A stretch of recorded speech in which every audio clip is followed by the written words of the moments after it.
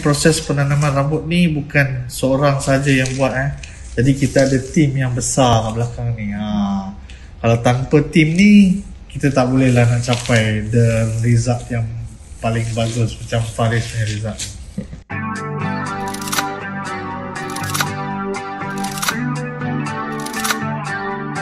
I see you calling. Assalamualaikum. Hari ni kita ada patient kita Faris eh dah setahun sebulan selepas tanam rambut. Eh, dia tak datang langsung dah sebab dah rambut dah tumbuh kan. Saya rasa kena paksa ni datang sini datang untuk PRP and then review balik rambut dia hari ni. So kita tanya sikit pengalaman Faris pada hari ini. Macam mana uh, pengalaman Faris dalam masa setahun ni? Ada tak orang komen pasal rambut Faris?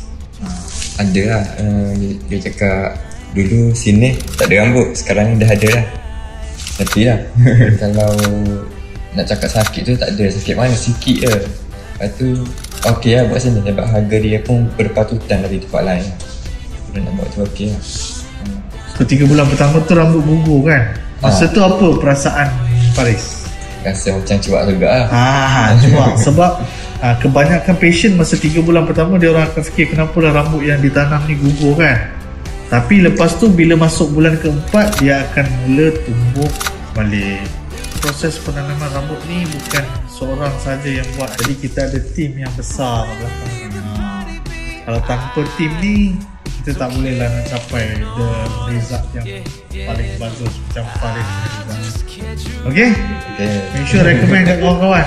Alright Boleh Thank you.